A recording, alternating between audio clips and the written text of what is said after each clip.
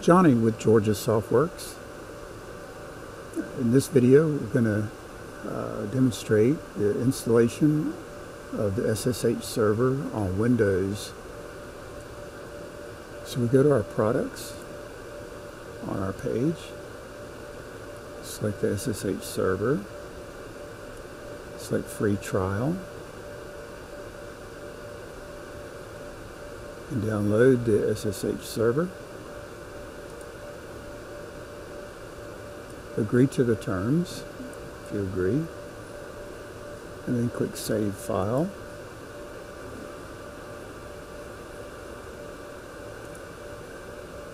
And then we're going to run the file.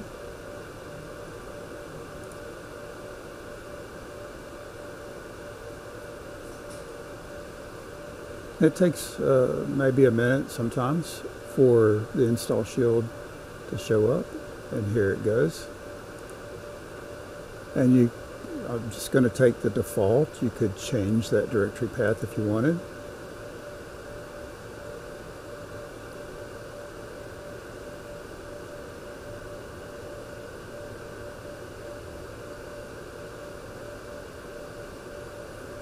And we're finished.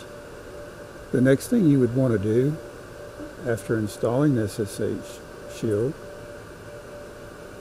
would be to run the Georgia Softworks registration tool.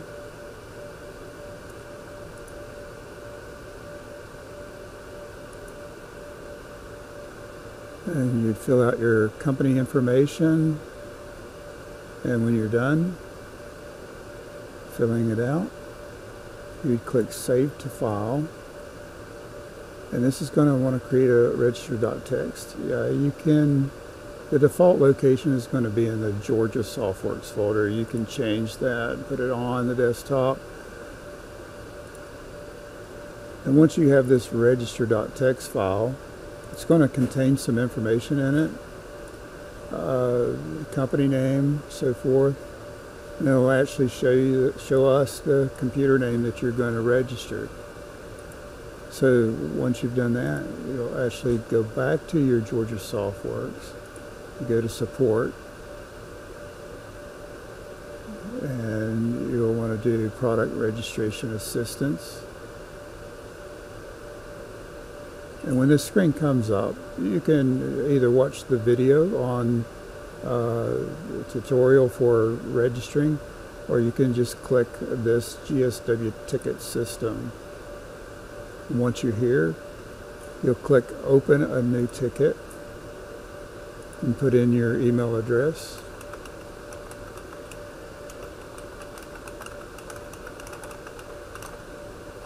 Uh, in this case, it's uh, at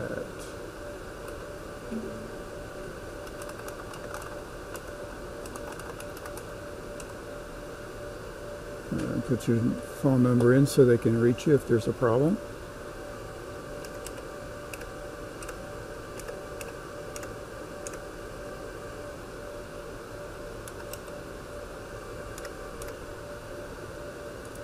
Under select a topic, choose registration. Enter your company name. The subject will say uh, register for SSH. And then the details, you just type in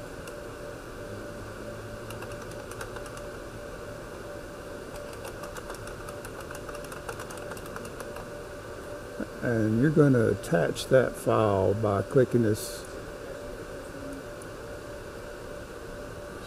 So you're going to go to the desktop select that file.